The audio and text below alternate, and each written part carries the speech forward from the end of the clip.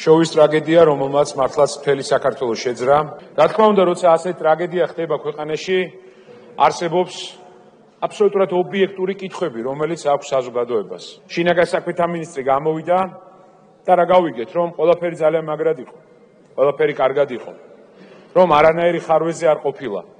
რაღაცნაირად მჯეროდა, რომ რაღაც გულის ტკივილს მაინც მოვისმენდით თქვენგან ბატონო ვახტანგ, რომ რაღაცით უკმაყოფილო იქნებოდით, რაღაც სადღაც მეტის გაკეთება შეიძლებოდა და ვერ შეძელით და ვერ გააკეთეთ, ხო?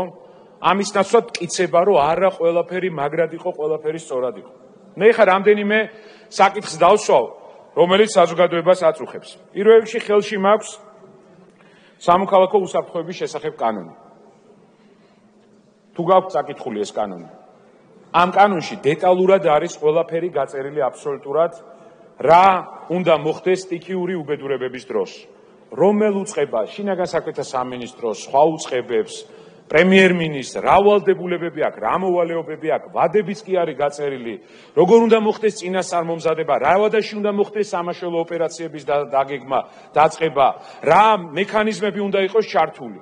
აი, მუხლობრივად რომ გაიაროთ ეს კანონი, თავიდან ბოლომდე ყველა მუხლი არის დარღვეული აბსოლუტურად. არც ერთი ქმედება, რომელიც ტარდებოდა, არ შეესაბამება ამ მუხლს. კითხვა ნომერი 1, რომელიც აქვს საზოგადოებას. სად იყო პრემიერ-მინისტრი? ამ ხელა სტიქია მოხდა ქვეყანაში.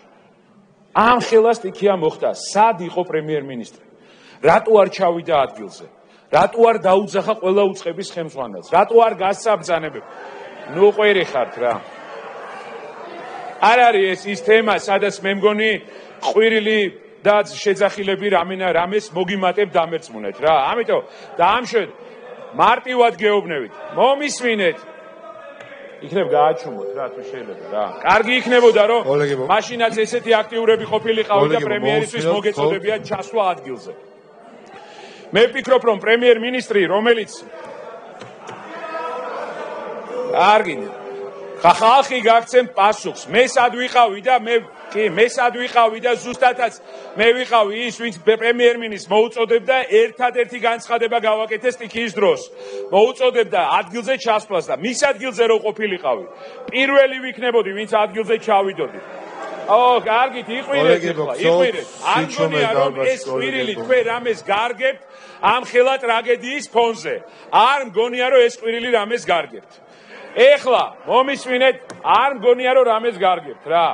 ამდენ ამხელა ტრაგედია მოგდა და იმის მორალიც კი არ ყოფნით რომ ელემენტარულად გაჩუმდეთ და მოისმინოთ ის კითხვები სად არის მეორე სად იყო პრემიერ-მინისტრი? მეორე ზუსტად ის საკითხი იმ ღამეს პრემიერ-მინისტრის შოუში არ ჩასულა. ეს იცის თელმა საქართველოს პრემიერ-მინისტრის შოუში ჩავიდა მეორე დღეს ჩავიდა რამდენიმე წუთით შეხვდა რამდენიმე ადამიანს და დატკო დატოვა ის ტერიტორია. ამაზეა საუბარი. მე მე ვფიქრობ რომ მე ვფიქრობ რომ რომ ყოფილიყო, რომ ყოფილიყო ყველანაირად მორალური, ფუნქციური, საკანონმდებლო პირველი პასუხისგებლობა იყო პრემიერ-მინისტრის. უნდა ჩასულიყო ადგილზე და უნდა დაეძახა ყველა უწყებისთვის და რატო? დიახ, ტრაგედია იყო კომპლექსური, სადაც შინაგან საქმეთა სამინისტროსთან ერთად უნდა ჩართულიყო თავდაცვის სამინისტრო, ჯანდაცვის სამინისტრო, რეგიონალური განვითარების სამინისტრო და ეს იყო პრემიერ-მინისტრის ვალდებულება.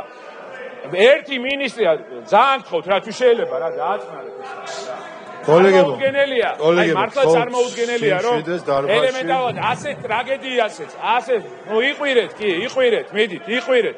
მე ვფიქრობ რომ თქვენი ყვირილი მიუთითებს რომ ბრალი მიგიძღვით არასწორ ქმედებაში რა. ეს არის ქართული ოცნების მორალი სამწუხაროდ რა. ადამიანების ტრაგედია ყოჩა ყოჩა. აი მოსმენაც არ შეგიძლიათ. იცით რატო არ შეგიძლიათ? იმიტომ რომ კითხვებზე პასუხი არ აქვს. არ მინდა რომ წყობიდან გამოვიდეთ ძალიან მარტივი მიზეზის გამო. ტრაგედია ისეთია, ისეთი ტრაგედია, ვერც გამომიყვანთ, იმიტომ რომ თქვენი შეძახილები, თქვენი შეძახილები თქვენ ილუსტრაციას ახდენს. კითხვაზე პასუხი რო არ გაქვს, მაშინ აკეთებ შეძახილებს და ყვირი ხარ.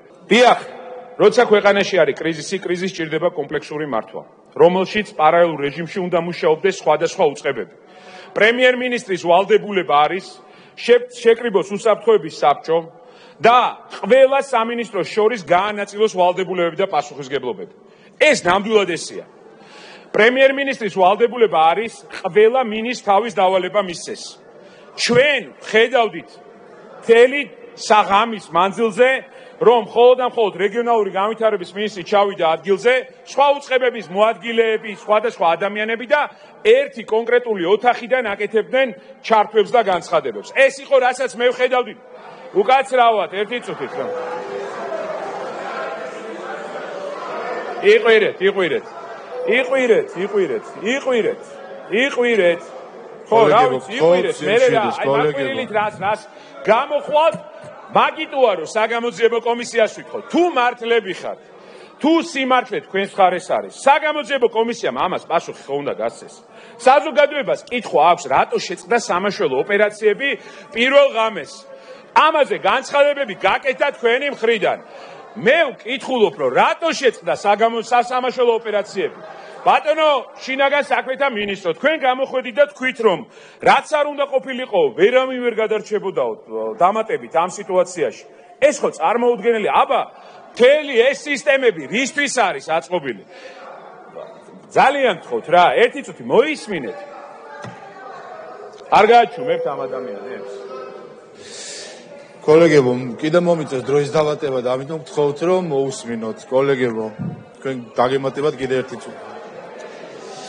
კარგი, კოლეგებო, გთხოვთ მოусმინოთ. მოკლედ, თავიდან ბოლომდე სამწუხაროდ ეს ტრაგედია იმართა არასწორად. ჩვენი დასკვნით, ამიტომ ვითხოვთ საგამოძიებო კომისიას სამ საკითხს უნდა გასცეს საგამოძიებო პასუხი. პირველი, პრევენციულად რა შეიძლებოდა გაკეთებულიყო და არ გაკეთდა. მეორე, როგორ იმართა სამაშველო ოპერაცია და მესამე და ყველაზე მნიშვნელოვანი, რა უნდა გავაკეთოთ ქვეყანაში იმისთვის, რომ ხვალდაზე იგივე ტრაგედიის წინაშე არ აღმოჩნდეთ. შესაბამისად, შესაბამისად, ნუ ახლა რა რა ვიცი ხა კიდე ერთხელ ვამბობ, მოსმენის კულტურა გქონდეთ ხალხნო რა. მოს რა, აი რო წამოიძახეთ რა, ეხლა აი რა რო წამოიძახეთ რა, ეხლა რა.